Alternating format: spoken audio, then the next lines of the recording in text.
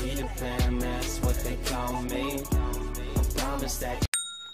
วัสดีค่ะทุกคนพบกับตูมตามนะคะจาก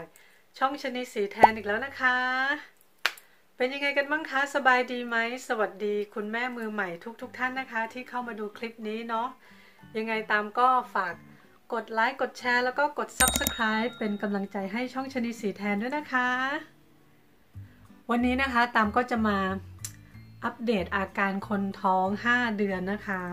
เพราะว่า 5 เดือนแล้วเรามาถึงครึ่งทางของการตั้งครรภ์ละอออยู่ในช่วงไตรมาสที่ 2 เนาะมาดูกันนะคะว่าตามเจออะไรบ้างนะ 5 เดือนแล้วแล้วก็มามาดูว่าวิวัฒนาการพัฒนาการของลูกน้อยเนี่ยเป็นยังไงบ้างนะคะ ตอนนี้นะคะเบบี้ในคัน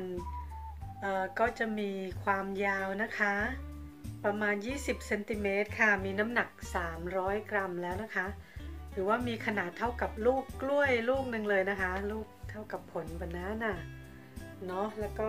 เบบีเริ่มมีเปลือกหุ้มเส้นประสาทไขสันหลังแล้วค่ะ ผิวหนังของเบบีก็หนาขึ้นนะคะ เขาก็เริ่มเริ่มที่จะมีผมแล้วนะ เล็บมือแล้วก็เล็บเท้าก็เริ่มพัฒนาขึ้น อวัยวะภายในมีการพัฒนาที่สมบูรณ์มากขึ้นค่ะ หัวใจเขาเริ่มเต้นเป็นจังหวะแล้ว แล้วก็ฟันน้ำนมของทารกเริ่มพัฒนาขึ้นในเหงือก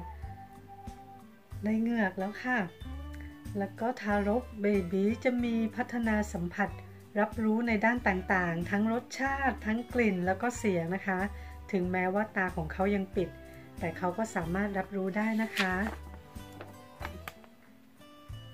คือตอนสัปดาห์ที่ 19 เนาะตามก็ไป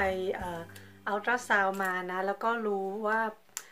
ลูกเนี่ยเบบีเนี่ยเพศอะไรนะ ก็สมใจคุณแม่ค่ะ ก็ไปอุลตราซาวตอนสัปดาห์ที่ 19 เนาะก็ได้ลูกสาวสมใจค่ะ วันนั้นก็ไปอุลตราซาวมาแล้วแล้วก็หลังจากอุลตราซาวเสร็จนะ หลังจากสัปดาห์ที่ 19-20 นะช่วงช่วง5 5 เดือนเนี่ยเขาดิ้นเก่งมากเลยค่ะเขาแบบ ดิ้นเช้ากลางวันเย็นดิ้นบ่อยมากเลยเริ่มรู้ เริ่มรู้แล้วว่าแบบ ว่ารู้เลยว่านางแรงเยอะแล้วก็แบบเออแอคทีฟมากเลยค่ะ รู้เลยว่าตรงไหนเป็นแขนตรงไหนเป็นขาเขาเนาะเพราะว่าตามว่าอาจจะเป็นเพราะว่าเราอะหน้าท้องหน้าท้องบางเราก็เลยแบบ รู้สึกว่าลูกดิ้นได้เร็วเนาะแล้วก็เขาจะเขาจะดิ้นจะจะดิ้นไปในทางที่แบบต่ำมากเลยนะ ไปที่แถวปาก ปากมดลูกอะ่ะเวลาดิ้นทีก็ถีบทีนี่ตามก็จะต้องปวดฉี่ตลอดแล้วต้องเข้าห้องน้ำตลอดเลยอะ่ะเนาะทุกครั้งที่เขาดิ้นนะคะ คุณหมอก็บอกว่าให้ให้เราเนี่ยรูปหน้าท้องเนาะเพื่อที่จะกระตุ้นการพัฒนาการของเบบีนะคะเขาก็จะรับรู้ได้ว่าเราเออว่าสัมผัสของมัมมี่นะคะ แล้วก็อาการที่ตามเจอมานะ ก็ยังฉี่บ่อยเหมือนเดิมค่ะ มีตกขาวด้วยนะ มีตกขาวทุกวันเลย แล้วก็มีท้องผูกค่ะ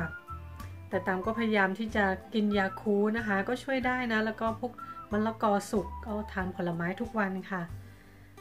แล้วก็เริ่มอึดอัดแล้วอะเพราะว่าท้องโตขึ้นเยอะมากเลยค่ะ ท้องโตขึ้นเยอะมากเลยเห็นได้ชัดเจนเลยต้องใส่เสื้อผ้าที่แบบสบายๆหลวมๆเนาะแล้วก็เราเริ่มที่จะเห็นขีดสีดำๆตรงกลางระหว่างสะดือค่ะ ข้างล่างนะ ขีดตรงกลางสีดำแบบชัดเจนมากเลยค่ะ ก็หูก็ยังอื้ออยู่นะคะ ยังมีหูอื้อแล้วก็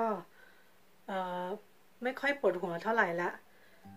แล้วก็จะมีเลือดกำเดาไหลทางจมูกอะค่ะ เวลาไอหรือว่าเวลาจามก็จะมีเออเลือดกำเดาไหลออกนะ เพราะว่าฮอร์โมนเราเปลี่ยนเนาะ แล้วก็เป็นตะคิวที่ขาบ่อยมากเลยช่วงที่เข้าห้องน้ำโดยเฉพาะตอน ตอนเย็นหรือว่าตอนค่ำนะคะ ถ้านั่งห้องน้ำนานกว่า 10 นาทีก็ตะคิวจะชอบกินขาข้างซ้ายเนี่ยทรมานมากเลยเนาะแล้วก็มีอาการปวดหลังค่ะโอ้ยเพราะว่าท้องใหญ่ขึ้นนะคะ แล้วก่อนที่จะเข้านอนเนี่ย เดี๋ยวนี้ยากลำบากมากเลยกว่าจะนอนหลับได้ เพราะว่ามันเริ่มอึดอัดแล้วเดี๋ยวเขาก็ดิ้น พอดิ้นแล้วก็ปวดฉี่ปวดฉี่แล้วก็ต้องหิวน้ำแล้วก็ดื่มน้ำก็จะวนอยู่ประมาณ ชั่วโมงสองชั่วโมงค่ะกว่าจะได้เข้ากว่าจะได้เข้านอนเนาะก็ใช้เวลา กว่าจะได้ก็ยังมีอาการแบบหลงหลงลืมลืมมาหาขี้ลืมเดี๋ยวลืมนั่นลืมนี่ ทางการแพทย์เขาก็เรียกว่า pregnancy brain นะคะ ช่วงนี้คุณแม่ควรจะทานผลไม้ที่มีวิตามินแล้วก็แร่ธาตุเยอะๆนะคะ เช่น กล้วยแอปเปิ้ลส้มแล้วก็ฝรั่งนะคะ ทานผักสดเยอะๆ เช่นบล็อกโคลีแล้วก็แครอทเนาะ พวกธัญพืช เช่นข้าวโพดแล้วก็ข้าวโอ๊ตนะคะ แล้วก็ดื่มน้ำเยอะๆเนาะยังไงคลิปนี้ตามลาไปก่อนเนาะแล้วเดี๋ยวเรากลับมาเจอกันใหม่คลิปหน้าค่ะ ฝากกด subscribe เป็นกำลังใจให้ช่องชนีสีแทนบ๊ายบายค่ะ เจอกันใหม่คลิปหน้านะคะ สวัสดีค่ะ